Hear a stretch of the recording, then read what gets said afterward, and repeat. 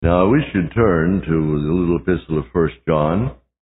You that are joining us this morning that will not have been with us in the other services may be interested in knowing that I've asked each of the people present to mark certain verses in First John so that they can use them. You know, today we have so many people that will come saying, I'm not sure about my salvation.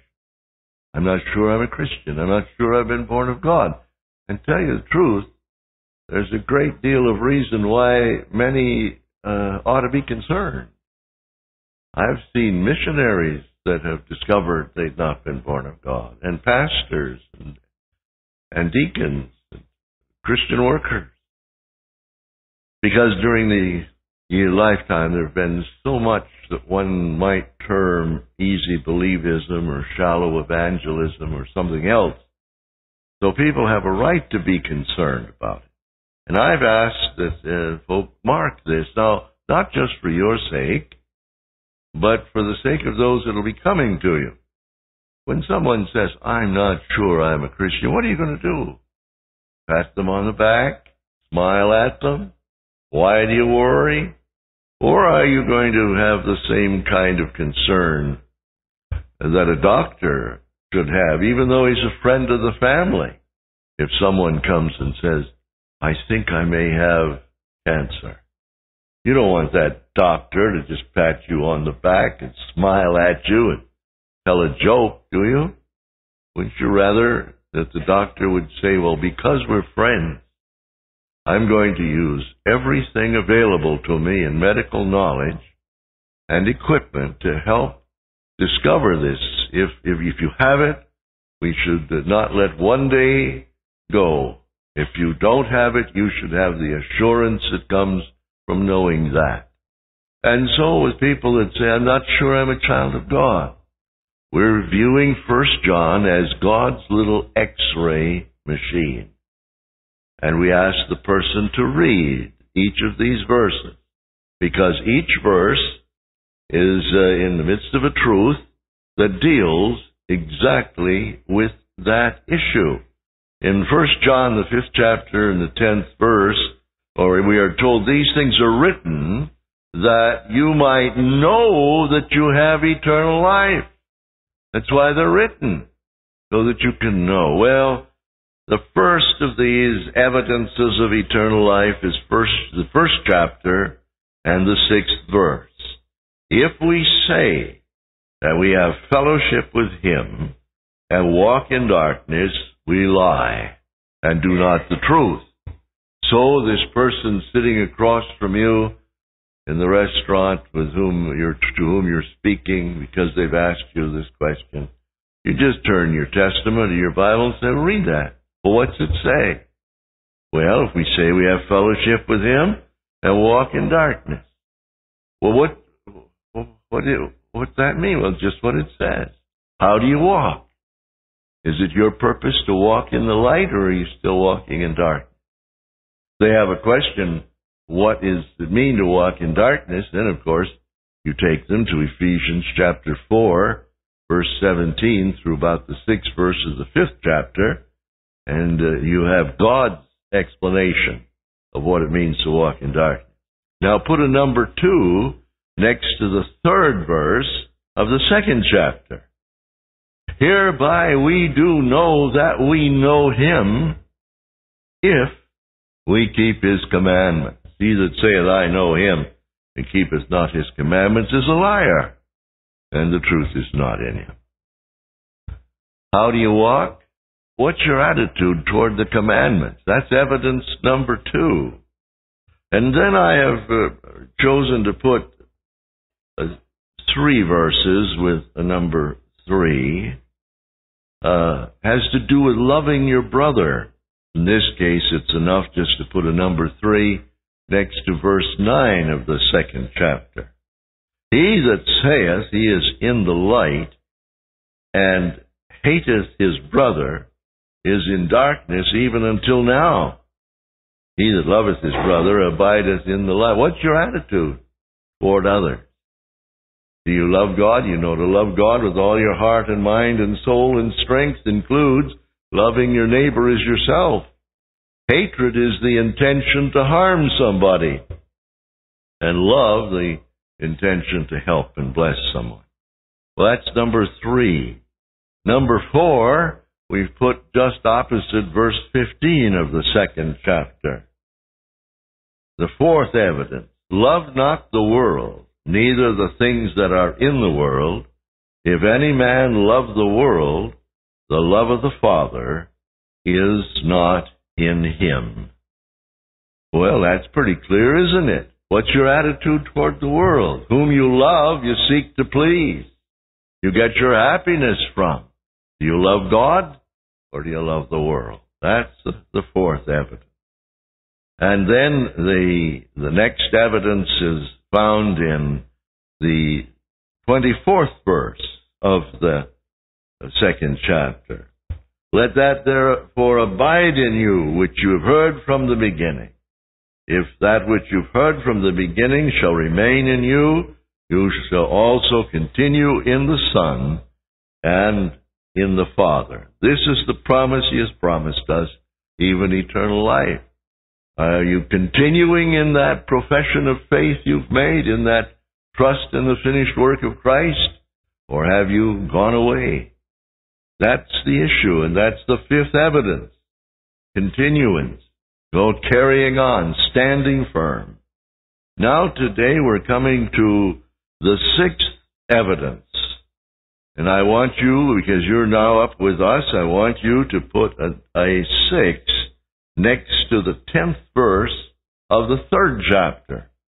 This is the sixth evidence of being born of God. I guess you have to check the ninth verse and and put the six next to ten. Whosoever is born of God does not commit or practice or do sin. For his seed remaineth in him, and he cannot do sin because he is born of God. In this the children of God are manifest, and the children of the devil. Whosoever doeth not righteousness is not of God, neither he that loveth not his brother. Now, everything that we've seen in First John uh, relates to those first three verses where John says, "These that which we have seen and heard declare we unto you, that you might have fellowship with us." And truly, our fellowship is with the Father and with His Son, Jesus Christ. And then He said, "And these things write we unto you, that your joy may be full." And if we're going to have fellowship with God, we've got to know about God. We've got to know something about Him. I regret that the uh, beginning of the third chapter is uh, did not start with the 29th verse of the second chapter. I would we're going to do that. We're going to make verse 29 of chapter 2 the first verse even though it isn't in your Bible I'm not changing that, I'm just including that and saying that's where we're going to begin. If you know that he is righteous, you know that everyone that doeth righteousness is born of him. In the seventh verse of the third chapter, we are told that uh, uh, Christ is righteous. Uh, the Lord Jesus Christ is righteous. In this 29th verse, we're told that God is righteous.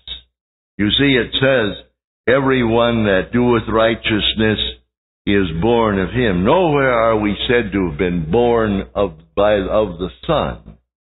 We're born of the Father.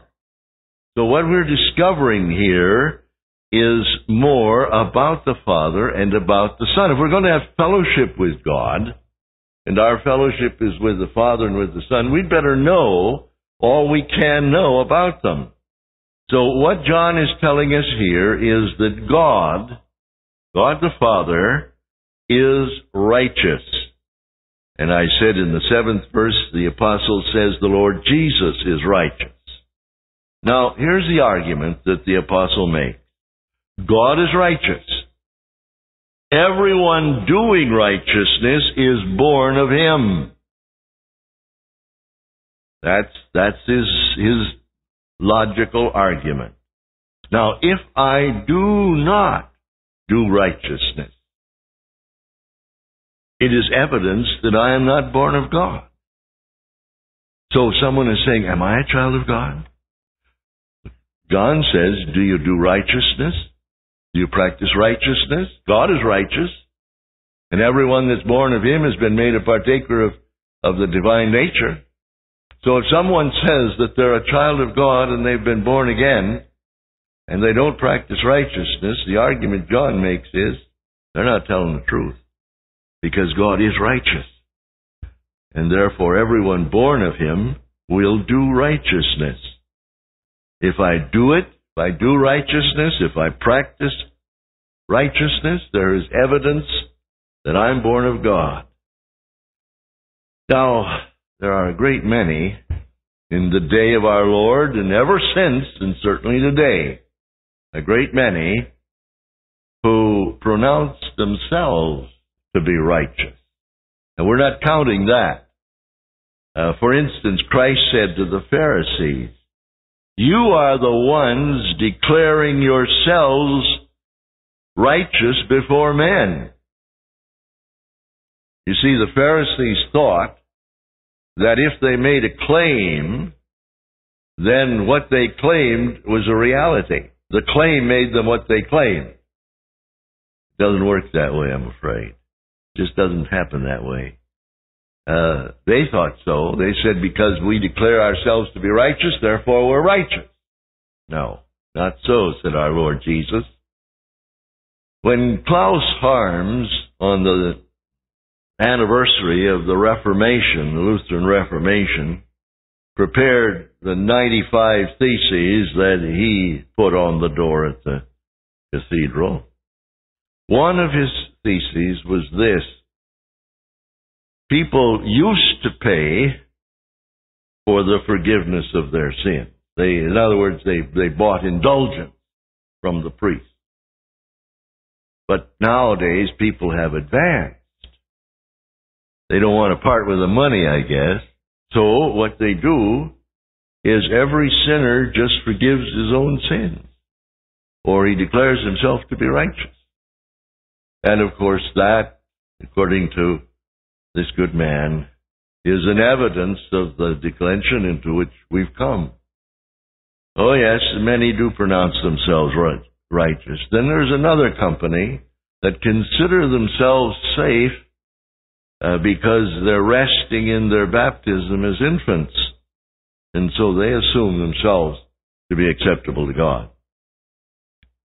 And then there are other multitudes, multitudes of people who'd followed the instructions of some religious leader and uh, they now have assumed themselves to be righteous. That's a dangerous thing to do because God is righteous. They that do righteousness as He prescribes it are born of Him. You see, the, the problem rides, rides on this. The world doesn't understand God. We, we have it right here. Uh, it's very clear. Uh, Behold, what manner of love the Father hath bestowed upon us that we should be called the sons of God. Therefore, the world knoweth us not, because it knew him not. And therefore, those that have been born of God, those that are truly His, uh, are going to have a little bit of a problem. God may see them as righteous, and they God may accept them, but the world has a, a different standard. The world knows what we were. Because many times we've been born of God, and yet there will those are those around who recall how we lived before we came to know the Lord. They're going to realize that once we were traitors against God and, and rebels and anarchists and enemies, that we walked according to the course of this world, according to the prince and the power of the air, the same spirit that continues to work in them. And they're going to say, well, what difference is there about you? Uh, the world does, has no way of knowing God, and because it doesn't know, the world doesn't know God, it doesn't know those that are born of God. It, it doesn't have the grounds for understanding what has happened to us. The world has this idea uh, promulgated by a lot of preachers of uh, the universal fatherhood of God and the brotherhood of man. No concept of redemption or regeneration. The world did not know our Lord Jesus Christ. That's a historical fact.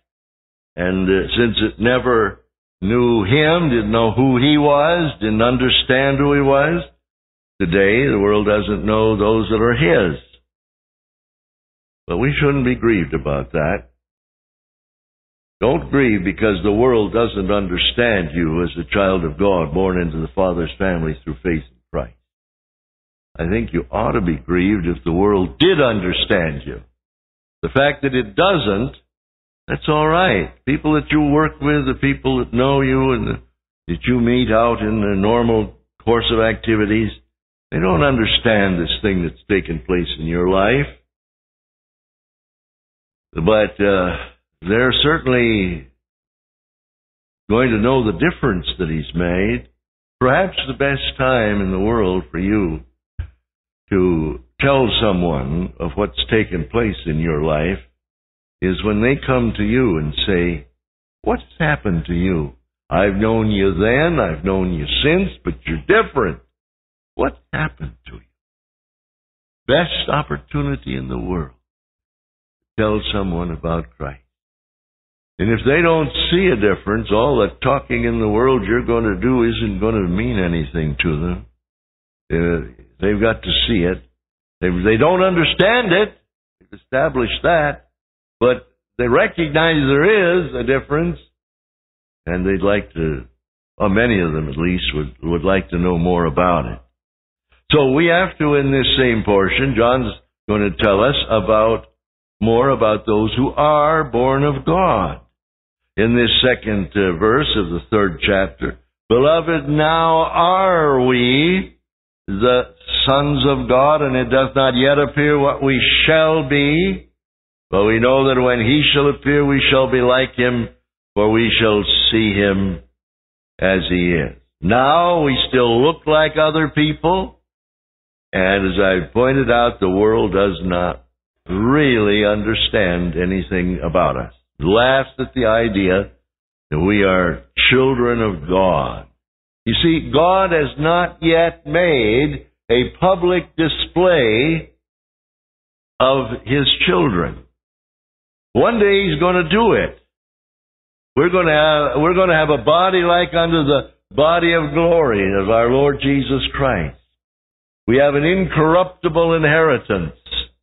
We'll have white robes and we'll uh, be all that He has planned for us to be, and then then there'll there'll be the setting forth of the children of God, but not yet. We're still as we were in many respects, and the world doesn't understand how we can claim to be born of God and still be so much like the rest of the people in the world. But we know that when He appears and we see Him, we're going to be changed into His likeness. We'll be like Him. You see, here on earth, this time we are in shall I say, a state of humiliation in the same way Christ was when he was here. He was said to be a root out of the dry ground and no beauty that anyone should desire him. But he's been glorified. And when we see him, we're going to be as he is. They're going to appear like the Lord Jesus Christ. That's when it will be made manifest. That one great final manifestation then the children of this world will see that those whom they've despised and disregarded, often persecuted, are indeed the children of God. Now, if you have been born of God, if you are a child of God, the evidence is going to be supported by the fact that since you know He is righteous, and you've been born of Him and made a partaker of His nature, that one day you're going to be like Him when you see Him as He is. You are going to certify the genuineness of your faith in Christ by your continuing to purify yourself even as the Lord Jesus Christ is pure. Now you say, well, how can you purify yourself? Well, you do it by obeying the Word, taking heed according to the Word. Doing righteousness means that you obey the Scripture, that you are careful to obey the Scripture. You say, well, we're not under law. No, we're not under the law of Mosaic offerings and sacrifices and all that pertained as shadows and types of Christ. But everything in the New Testament that's in the imperative mood is a command of the Holy Ghost. And we are expected to give heed to the Word of God. We are told that the Word is to have free course and be glorified in us. And the Word is glorified in us when we obey it. How much time do you give in reading the Word with the purpose of, of changing your attitudes, your relationships, your activities to match the Word? Well, it's important for you to know that because we are told that every man that hath this hope of seeing him and being like him continues to purify himself even as Christ is pure. You've sung it. Have you ever really thought about those words when you sang them? Oh, to be like thee. Oh, to be like thee, blessed Redeemer pure as thou art. Come in thy fullness. Come in thy pureness. Stamp thine own image deep on my heart. Well, that's the cry of the one who's been born of God. Oh, to be like blessed Redeemer. Purifieth himself even as he is pure by taking heed according to the Word, by reading it, by studying it. It's so very, very important for us to understand that. And there's no exception. No exception at all. He who stops purifying himself has dropped this hope from his heart. You, you can't have it both ways. You can't have it. He that hath this hope in him purifies himself on the one hand and say he that stops purifying himself still has this hope in him. It doesn't work that way. It's got to be that he that hath this hope in him purifies himself. And conversely, he that has stopped purifying himself has dropped this hope from his heart. And the evidence, therefore, is that if you're born of God, you have this continuous desire to bring your life in accord with the Word of God, to purify yourself by the Word. How shall a young man cleanse his way, purify himself, said David, by taking heed thereto according to thy word.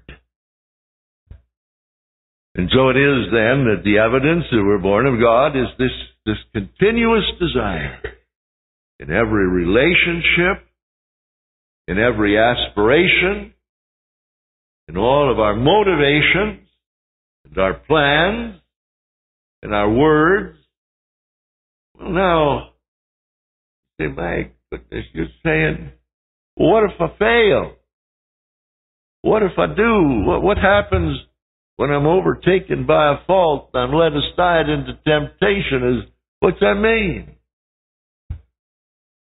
You mean to say that there's a place in grace that I'll, I'll never be tempted anymore? No, I don't mean that. I know a lot of folks are looking for it, but they aren't going to find it. And if there ever came a place in the Christian life or a state of grace where you couldn't be tempted, do you know what that would mean? That would mean that you were holier than your wonderful Lord. Because he was tempted in all points, like as we are, yet without sin. The temptation is not sin. Temptation is the proposition presented to the mind to satisfy a good appetite in a bad way, and sin is the decision to do it. And there's no time in our pilgrimage when we aren't subject to temptation, and no place in our life on earth that we're not capable of yielding to temptation. By the same token, there's no temptation that we have to yield to, because with every temptation, He's made a way of escape that we may be able to bear it. So we've, we've, we've got protection there, but should it be? We do not avail ourselves of that way of escape and we fall into sin, the evidence that you are uh, is that you have been born of God is that when you discover what you've done or said or thought in terms of purpose, whenever you realize what it is that's come between you and the Lord, you deal with it. Because your hope of seeing Him means you're going to purify yourself as He is pure, and the purifying means that you're going to immediately do everything the Scripture says to do. what does the Scripture say to do? Well, you remember when the people at Corinth got into trouble at the Lord's table and, and sinned? And Paul said in writing to them, Judge yourself that you be not judged. For uh, he that is judged is chastened of the Lord, that he should not be condemned with the world. No. Judge yourself means that the moment that you discover that what you said and what you wanted and what you purposed and even what you continued to think about is sometimes sin it gets in the mind the same way a candy gets on a child's tongue and it's sort of rolled over and the sweetness sucked out without having inquired the outward actions with the penalties that imposes. God looks on the thoughts and the intents of the heart. So what happens when we discover that? Judge it immediately. This is what the Word of God says about it. Judge it to be what God's Word declares. Then the second thing is Forsake it. Done with it. Finished with it. No dispense.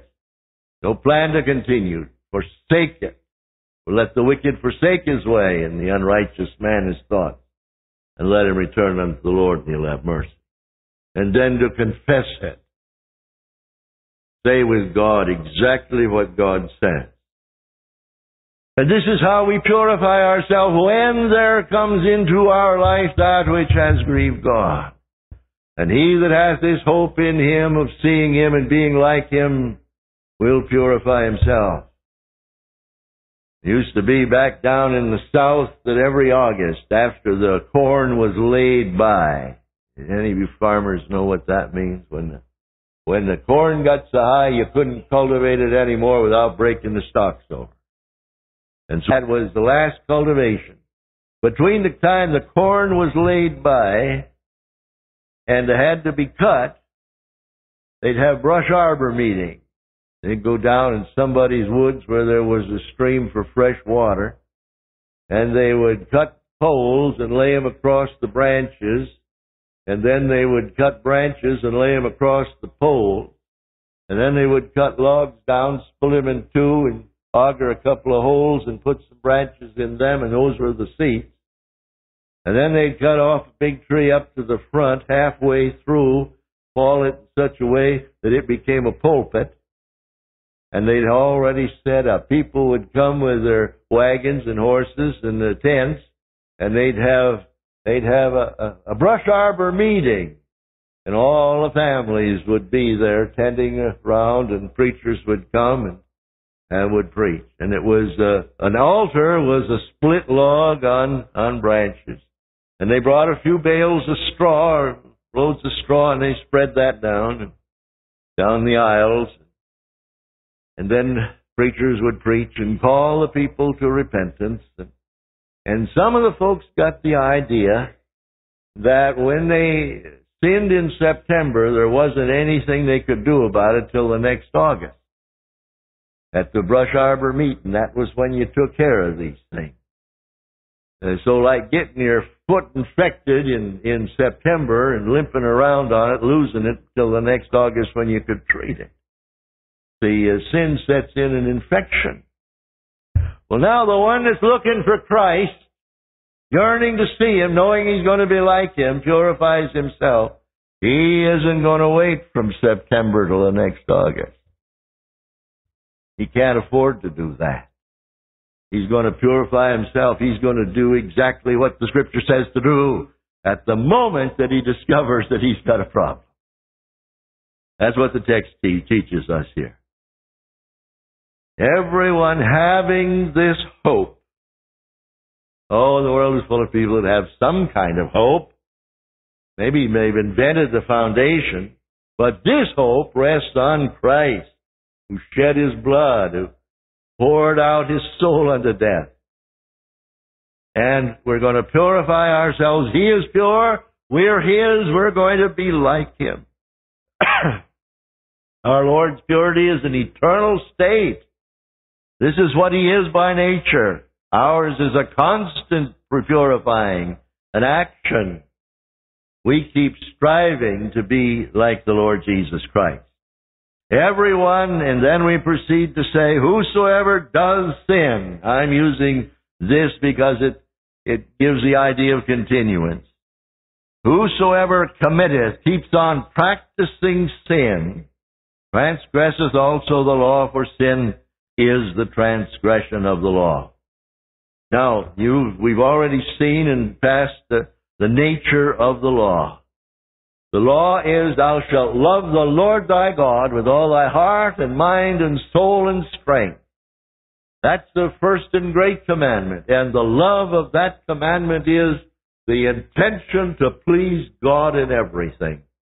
And if you've been born of God, you have repented of your sin, and your sin was the intention to please yourself, and now you've turned your back on that and you've made a commitment to please God in everything. And therefore, your whole, the whole law is summed up in that one commandment. Do only that which will bring joy and satisfaction and gladness and happiness to the heart of God. So if you find someone that claims to be a child of God, but he is transgressing that. He's living to please himself. Well, we have it here. Whosoever committeth sin transgresseth also the law, for sin is the transgression of the law. Everyone doing sin gives concrete evidence that he hasn't been born of God.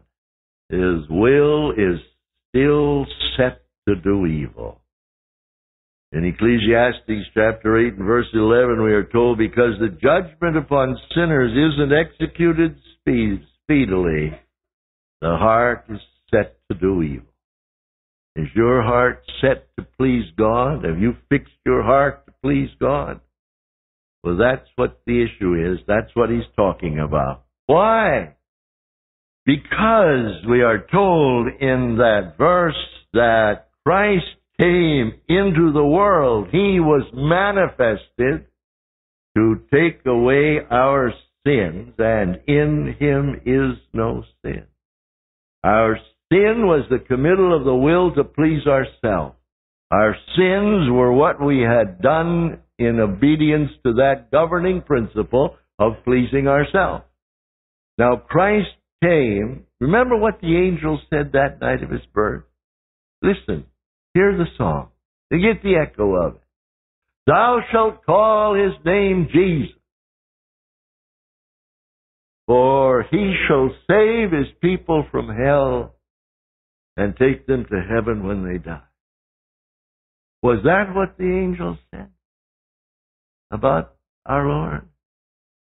Why have we preachers been focusing on that and forgot what the angel did say?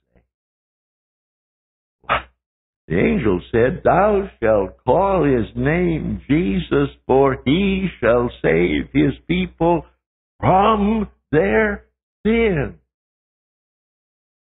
That's what he came to do. Do you mean to say that he could love the world and give his life for it, die and go into death, be raised from the dead, and not accomplish what he came for? I certainly don't believe that. He accomplished what he came for. He came into the world to destroy the power of sin, to pardon the guilt of sin, to cleanse from the pollution of sin, and he made full and perfect and complete provision to do everything he came for. You think it can be stated that he either cannot or will not do that which was the object of his coming? Well, you might think so, should you choose, but I don't think so. I don't hold it for a moment. Since he came for the purpose of taking away the sins, it's plain that anyone who is doing the sin, anyone who is practicing lawlessness, scorns Christ's sacrifice for sins. Or if he doesn't scorn it, he views it as a license so he can go on to practice sin and somehow escape from the consequence of it. No, the Lord Jesus accomplished what he came for. He came to save his people from their sin. And everyone that's in him, everyone that's born again, we read in verse 6, whosoever abideth in him doth not go on sinning. Anyone who goes on sinning has not seen him nor has he known him. Ooh, you know, if I had written this, I might get a little afraid of the face of the people. But uh, since I'm reading what God by the Holy Ghost gave through John, it's been part of the Bible ever since then. Uh, I have to read it. Now, oh, listen.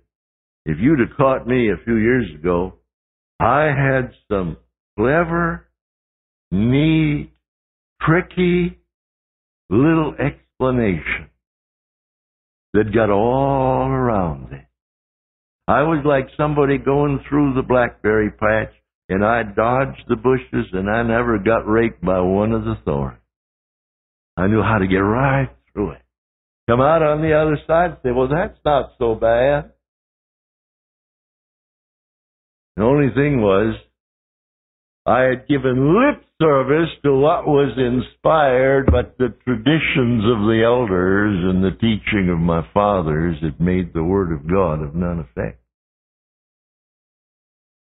Well, I've had to unlearn a lot since then.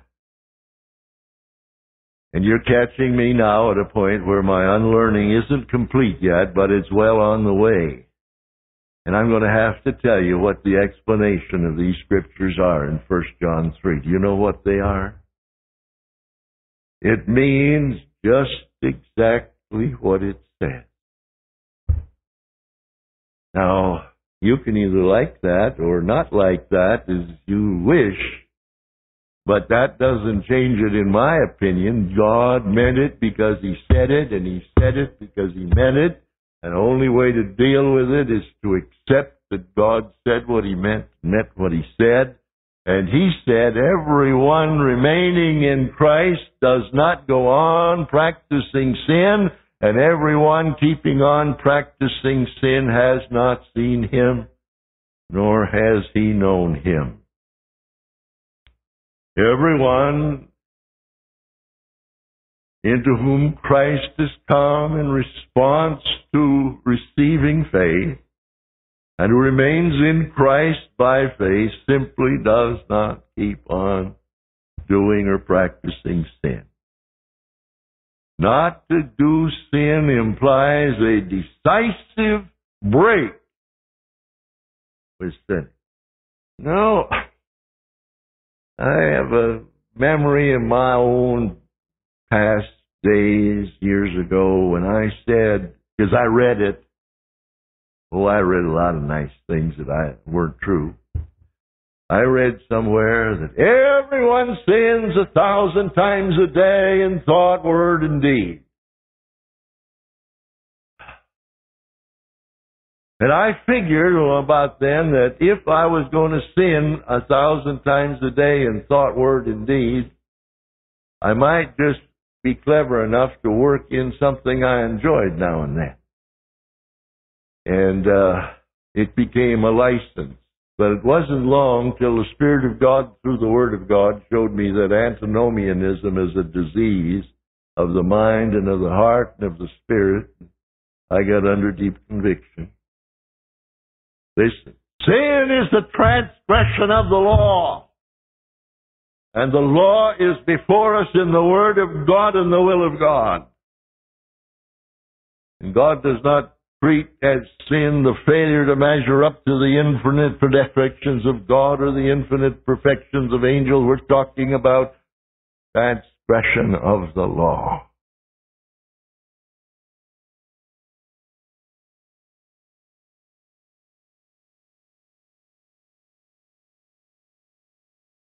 And we're saying that anyone who goes on sinning implies that he has never made a decisive break with his past and he's still dead in his sin. All right. Verses 7 to 10, we learn how to recognize those who are born of God. Now, there's always a possibility of deception. In verse uh, 7, it says, Little children, let no man deceive you.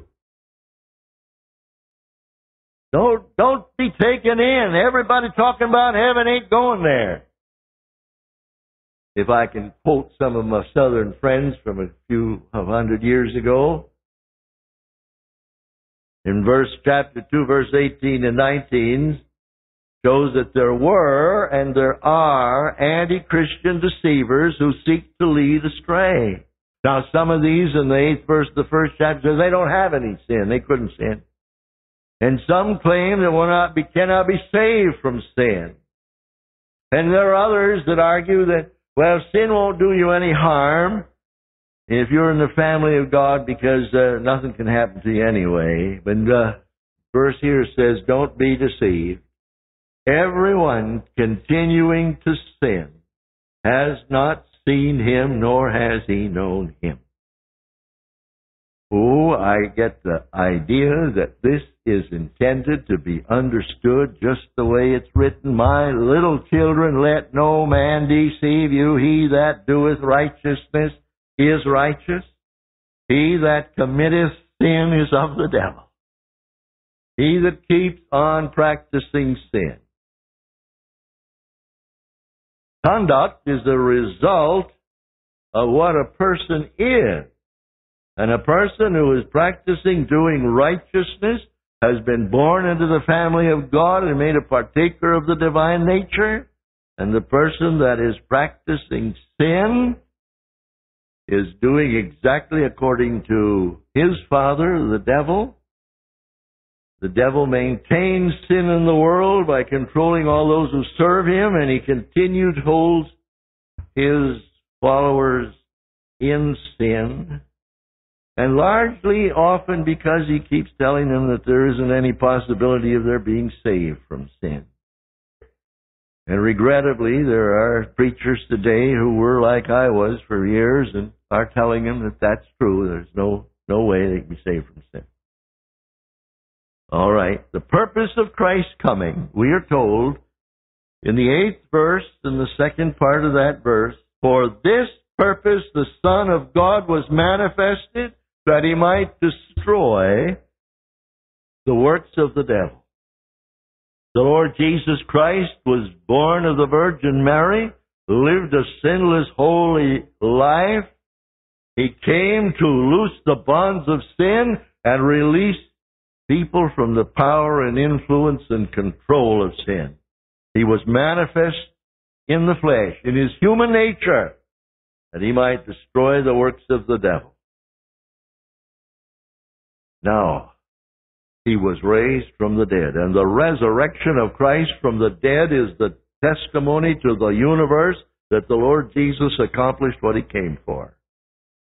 And those who are born of God, who passed from death unto life, share this life of Christ and exhibit his, the victory of their risen Lord.